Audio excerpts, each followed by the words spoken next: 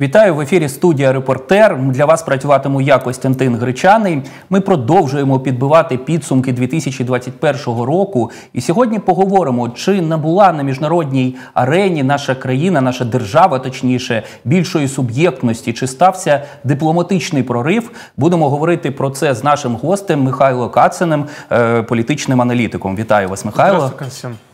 На вашу думку, чи от наша дипломатія, наша е, міжнародна політика українська, чи зробила вона протягом 21-го року крок уперед? Чи заручилися ми більшою підтримкою? Чи стали ми більш міцною державою на міжнародній арені?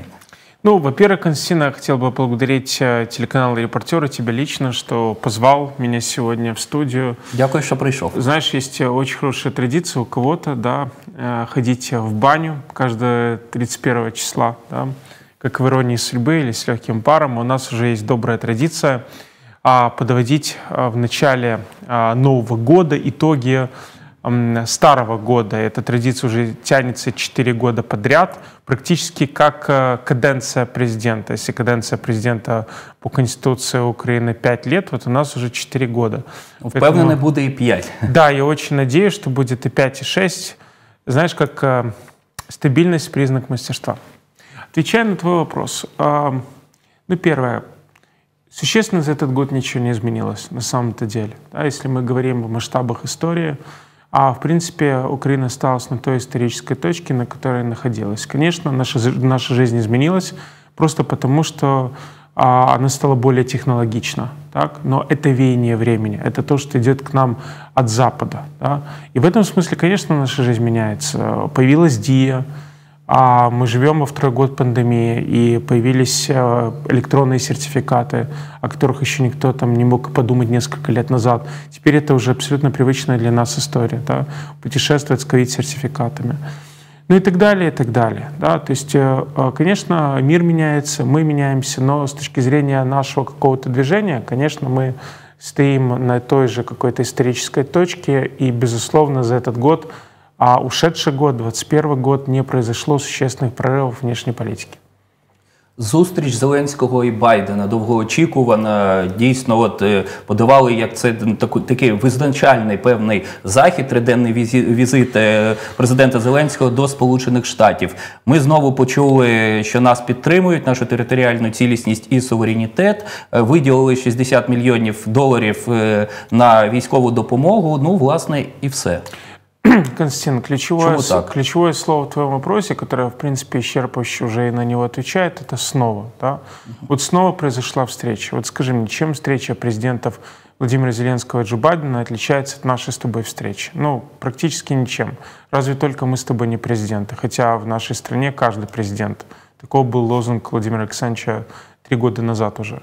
По большому счету... Ну, є, є там это- певна непублічна частина, але ну Константин. ма- мають бути якісь результати, Константин. а їх я не бачу. Константин, забудь про непубличную часть. Вот если мы сейчас посмотрим а, воспоминания там, известных дипломатов, политиков о непубличной части а, судьбонос- судьбоносных встреч, они, как правило, ничем не отличались от а, того, что было в кадре.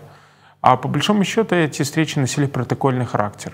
Украина, Соединенные Штаты Америки, да, э, плодотворно взаимодействуют, но мы, в принципе, исчерпали свою повестку дня, равно как и с НАТО и как с Европейским Союзом. То есть мы уперлись а, в некую стену, которую нам, к сожалению, в ближайшее время э, ну, будет очень трудно пройти. Украину не готовы сейчас принимать в НАТО, Украину не готовы принимать в Европейский Союз, и Соединенные Штаты Америки не готовы сближаться с Украиной еще больше, в частности, процессе, например, либерализации визового режима, э, либо подписания соглашения зоны свободной торговли. Вот это были реальные конкретные результаты, которые говорили бы о том, что ситуация сдвинулась с мертвой точки.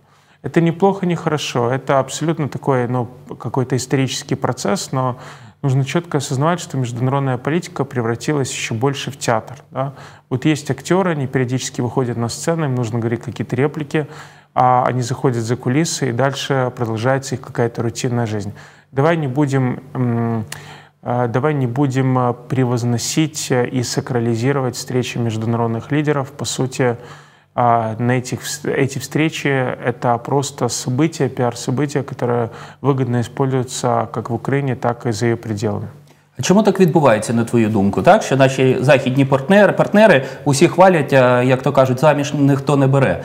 Так, чому нас не, не кличуть до НАТО, до ЄС, якщо Україна чітко визначила свій зовнішньополітичний курс? А... Дають якісь плани, дають, ставлять умови, але про конкретні терміни вступу, на жаль. Ну, первое, от того, что Украина зафиксировала в Конституции э, курс на интеграцию Европейский Союз и НАТО, автоматически не означает, что нас должны принять в НАТО и Европейском Союзе. Это первое. А второе, э, фиксация курса Европейский Союз и НАТО не является условием вступления в НАТО и Европейский Союз. Это было сделано исключительно Петром Алексеевичем Порошенко в феврале 2019 года. Можно спорить, насколько было необходимо включать эти положения в Конституцию, но как факт, это часть Конституции, и, безусловно, мы, как граждане Украины, должны придерживаться норм, прописанных в Конституции. То есть, фактически, а мы двигаемся в сторону интеграции Европейский Союз и НАТО. А НАТО не готово нас э, принять, э, э, поскольку есть военная агрессия Российской Федерации. Россия аннексировала и оккупировала украинский Крым, оккупировала отдельный район Луганской и Донецкой области. А, и в этих условиях а, говорить об интеграции НАТО не приходится, поскольку одно из условий вступления в НАТО является отсутствие территориальных споров с другими государствами. По сути, у нас есть де-факто спор с другим государством, со стороной агрессором Российской Федерации. И второе — это необходимость коллективной обороны, а, которая используется для защиты интересов каждого из партнеров по НАТО.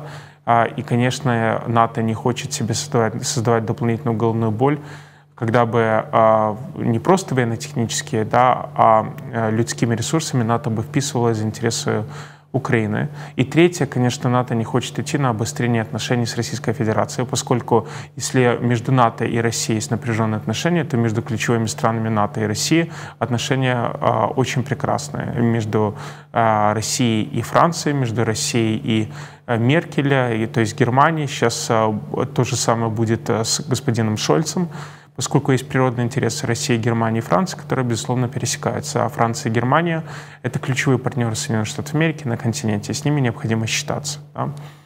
А, поэтому э, это касается НАТО. Что касается Европейского Союза, ну, послушайте, э, Ангела Меркель, уходя в этом году со своей должности, она заявила о том, что через 4 года необходимо дать четкую перспективу вступления балканских государств в Европейский Союз. Это Албания, а Черногория, а Северная Македония, которая, собственно, и Сербия, которая ожидает, и Косово, которая ожидает а за дверью Европейского Союза уже очень долго, а фактически из балканских государств вступила только Хорватия, а эти балканские государства не принимают. Опять же, окно а, для... Словения. Окно возм... А, Словения, да, ну да, Словения, конечно, но Словения вступила еще в 2004 году, угу. да, совершенно верно. Поэтому сейчас Европейский Союз не готов пускать эти страны, даже несмотря на то, что, например, Албания и Черногория являются странами НАТО. А Сербия выполняла все условия для вступления в Европейский Союз. А, насколько ты помнишь, Турция подавала заявку вступления в Европейский Союз еще в 1970 году. Эта заявка уже давно положена под сукно, хотя Турция член НАТО. А с другой стороны, Австрия не член НАТО, но член Европейского Союза. Финляндия не член НАТО, но член Европейского Союза. О чем идет речь? Да, давай подытожим. А, во всем важны политические решения. Нет еще политического решения по вступлению Украины, Грузии, Молдовы в Европейский Союз и НАТО. И такое решение будет не скоро принято. Я хочу тебе сказать, что в 1993 году, когда только распался Советский Союз, решался вопрос о вступлении восточноевропейских государств в Североатлантический альянс. И тогда, э, вот мне недавно на руки попался любопытный документ, он доступен э, в интернете, это меморандум, который был подготовлен для Госдепартамента Соединенных Штатов Америки. Дело в том, что есть а, специальный закон Соединенных Штатов Америки, когда а, аналитические службы, аналитические центры могут обращаться с запросами к официальным структурам с просьбой снять гриф секретности с государственных документов. Так вот, а вот в этом э, меморандуме, который был получен, если не ошибаюсь, одним из аналитических центров Джорджтаунского университета, нет, университета, университета Джорджа Вашингтона, а, так вот в этом документе говорится о четырех волнах расширения НАТО. Предполагалось, что а, в 2005 году а это мы говорим про 93 год. Предполагалось, что в НАТО вступит а, Беларусь, а Россия и Украина к 2005 году. А в том же документе говорилось, что если в России установится тоталитарный режим, тоталитарный будет возвращение к тоталитарным тенденциям, тогда а, четвертая волна расширения НАТО не состоится, и НАТО будет проводить политику охраны и поддержания а, ценностей НАТО на европейском континенте, что, собственно, сейчас и происходит, когда в России возобладал а, авторитарный режим, а, естественно, поскольку никто не хочет из крупных государств НАТО ссориться с Россией, а вопрос вступления Украины в НАТО, он автоматически заблокирован. Э, Чи варто нам досі е, пропонувати себе е, північно-атлантичному альянсу, наполягати на цьому, якщо от ситуація така, як є? Чому я питаю на е, цей вже 22-й рік, начебто, за інформацією української сторони, під час зустрічі Зеленського і Байдена була запланована інша зустріч між цими президентами вже у Києві протягом саме 22-го року? А, послушай, вот э, встреч может быть очень много, и, угу. Костя, и а результативность этих встреч не определяется количеством, определяется повестка дня и готовностью сторон. Ну, от, от я власне тому і питаю, вот, чи варто наполягати нам, продовжувати наполягати на членстві в Альянсі? Понимаешь, э, вернусь к своему тезису. Международная политика — это пиар. И, к сожалению, Украина оказалась, ну, в данном случае, на вот этой вот пиар-сцене, да, Э, И, э, к сожалению, вокруг Украины разыгрываются очень серьезные геополитические пиар-баталии.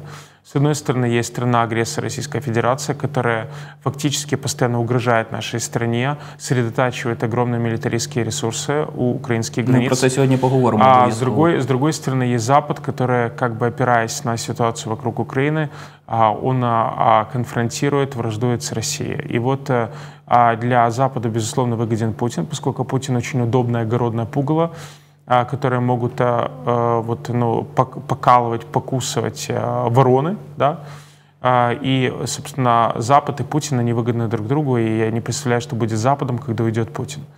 Поэтому, к сожалению, Украина оказалась заложником вот этой большой геополитической игры, но это не означает, что нам э, нужно отказываться от нашего курса. Я считаю, что в долгосрочной перспективе э, декларация и фиксация курса наступления в НАТО и Европейский Союз дает дополнительный импульс к проведению внутренних реформ и дает некую систему ценностей, в том числе и формирует политическую культуру в нашем обществе а, и некие флажки. Это очень важно для государства, которое находится в транзиции. А, когда мы вступим в НАТО а, или Европейский Союз, неизвестно, но курс это держать, безусловно, необходимо, поскольку это курс на сближение с цивилизованным миром а, и уход окончательный от а, авторитарной, архаичной Российской Федерации. Дуже важливу тему ти підняв вже не перший тиждень на порядку денному в Україні питання військової загрози від Російської Федерації, повномасштабного вторгнення. Якщо бути точним, Російська Федерація концентрує великі сили військові на кордонах з Україною. От чи є такі ризики, на твою думку? Я думаю, таких рисков нет, поскольку Путин находится у власти 22 года. А, давай посмотрим по гамбургскому счету, что за 22 года сделал Путин. Да, Путин растоптал свободу слова в России. А, Путин а, посадил всех российских оппозиционеров, которые реально претендовали на власть, либо они вынуждены были уехать. А, ну, да, там отдельные, либо, либо відправилися у світ інший. Да, либо, как Борис Ефимович Немцов э, вот отправился э, вот в мир иной, да, после того, как он был убит э, а, практически возле Кремля, да, но это, скажем, некий, эм, э, некий случай, который выбивается, ну и отравление Навального выбивается из общей логики. А в основном, конечно, российские оппозиционеров либо сажали, либо высылали. А, значит, а, а, Путина, безусловно, он начал вооруженную интервенцию в Грузии в 2008 году, но я обращаю твое внимание, что при том, что он мог дойти до Тбилиси, Путин этого не сделал, и не потому, что прилетел Макрон. Просто а Путин, он не готов к очень серьезным, психологически не готов к очень серьезным а, жертвам а, со стороны а, России, будь то финансовым, будь то людским. А, Путин остановился, и фактически а, интервенция в Грузию закончилась тем, что Россия в нарушении норм международного права признала независимость сепаратистских, сепаратистских режимов Южной Осетии и Абхазии. А, значит, что касается 2014 года, когда Россия оккупировала, аннексировала украинский Крым, а Россия воспользовалась бегством предателей Януковича, чтобы залезть а, а, на нашу территорию и ударить а, ножом Украину в спину, когда Украине было плохо на фоне вот бегства Януковича. Но опять же, Россия аннексировала, оккупировала Крым без единого выстрела. Что касается ситуации на восточных территориях нашей страны, а давай говорить, э, давай говорить прямо, что да, Россия поддерживает сепаратистов, боевиков и террористов на неподконтрольных украинской официальной власти районах, отдельных районах Луганской и Донецкой области, но там тлеющий конфликт, но там нету а, конфликта, который бы уносил просто десятки тысяч жертв с обеих сторон, и слава богу. Так вот, если Россия решится на широкомасштабную агрессию, а в Украине есть армия, в Украине есть сильная армия, а плюс а, а, преимущество в том, что армия будет воевать на своей территории, конечно, а для Путина это обернется десятками тысяч жертв российских солдат, которые нельзя будет тайно похоронить, как это делали, например, в Пскове, за что пострадал российский оппози оппозиционер, а, депутат Псковского собрания от Яблока Лев Шлосберг. А он был главным редактором газеты «Псковская губерния», которая опубликовала информацию о десантниках, российских десантниках, погибших в Украине. И вот из-за этого его избили. А здесь же прикрыться нельзя будет, поскольку жертвы действительно будут а, исчисляться десятками тысяч. На это Путин пойти не может. Опять же, за 22 года он ни, ни разу, вопреки своей брутальной риторике, он не решался на широкомасштабные действия военного характера.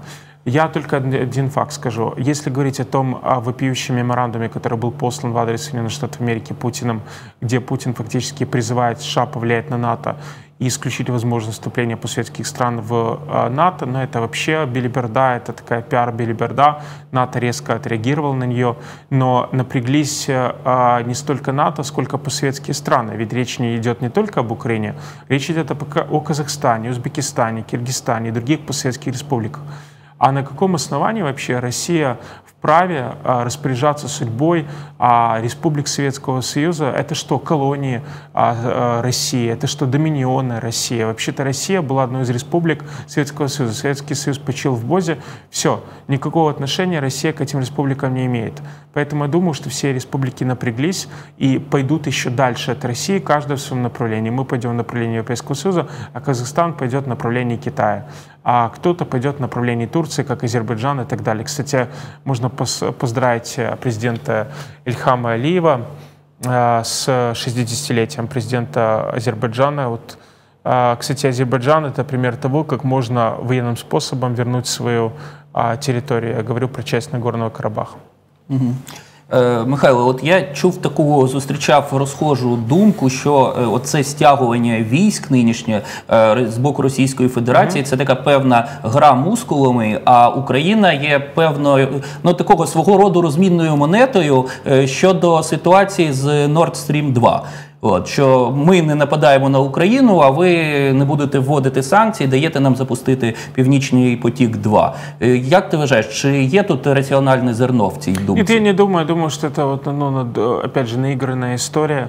Я считаю, что, конечно, э, вот мы из-за нашей политической нестабильности мы пропустили очень важный момент, когда мы могли а построить всю систему газовой безопасности э, Европейского Союза на фоне газотранспортной системы Украины. Это нужно было делать 20 лет назад, создавать консорциум а, с, куда бы вошли а, вот европейские компании, возможно, Соединенные Штаты Америки. А, и если бы а, наша газотранспортная система, она отчасти принадлежала европейцам, так, управлялась европейцами, а в том числе Россия не решилась бы на оккупацию аннексию Крыма. Это необходимо понимать. То есть мы упустили а, шанс. Мы очень много, очень долго морочили головы европейцам. И естественно, что они решили на альтернативные источники постав, поставки газа в Европу. То, что мы сейчас видим на газовом рынке, это, конечно, а, вот а, пример, а, пример того, как а, политика влияет на экономику. Ведь по сути, так случилось, что сначала европейцы затеяли вот этот Nord Stream 2, потом они его не запускают, оттягивают его запуск. На этом фоне растет цена на газ. А, и одной из пострадавших является как раз Украина, потому что мы вынуждены будем платить от тысячи долларов за тысячу кубометров газа, что, безусловно, больше, чем платит та же Молдова. А, и я уже молчу про там Беларуси и так далее. Беларусь это просто сателлит России, да, но если мы говорим о Молдове, Молдова, например, будет платить около 300 долларов, да, ну, Украина там 1000 долларов.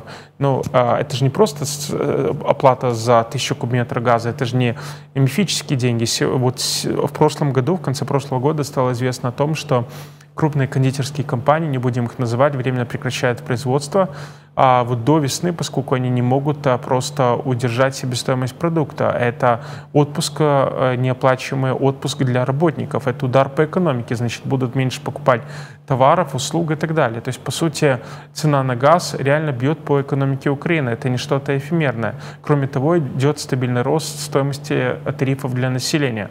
У нас э, население превращается в класс иждивенцев, которым государство вынуждено как бы оплачивать, компенсировать стоимость э, ну, тарифов. Это в корне неправильная система экономическая. Поэтому, вот отвечая на твой вопрос, э, вот с Nord Stream 2, а вот Nord Stream 2 это стал примером, а, с одной стороны, а вот такой, ну вот нечеткой позиции со стороны европейцев, с другой стороны агрессии уже газовой со стороны России, когда а Россия еще раз показала, что уровень хамства Путина прямо пропорционален стоимости цены на газ. Чем выше стоимость цены на газ, тем а, Путина ведет себя а, более борзо и более брутально. Михайло, ну що можна сказати? Сподіватися будемо на краще, е, очікувати, звісно, гіршого, як у нас завжди буває. Я дуже дякую за цікавий ефір, як завжди, цікавий ефір. Дякую, що знайшов час і прийшов до нас. А, Кость, я с своей стороны поздравляю тебя с наступившим годом, Спасибо. поздравляю наших зрителей с э, наступившим 2022 годом. Я очень надеюсь, что этот год принесет э, в каждую семью э, благополучие, а, Принесет э, много счастья. А, конечно, вот э, мы не живем, и обычная семья адекватная никогда не будет жить исключительно политика. Есть очень много э, каких-то бытовых моментов жизненных, а вокруг которых складывается жизнь, история каждой семьи. И давайте делать так, чтобы таких моментов было больше. А политикой будем заниматься постольку, поскольку она влияет на нашу жизнь, и больше думать о своих близких. Золоті слова приєднуюся до вітань. Я думаю, вся команда репортеру приєднується до цих вітань. Для вас працював Костянтин Гречани. Залишайтеся з нами.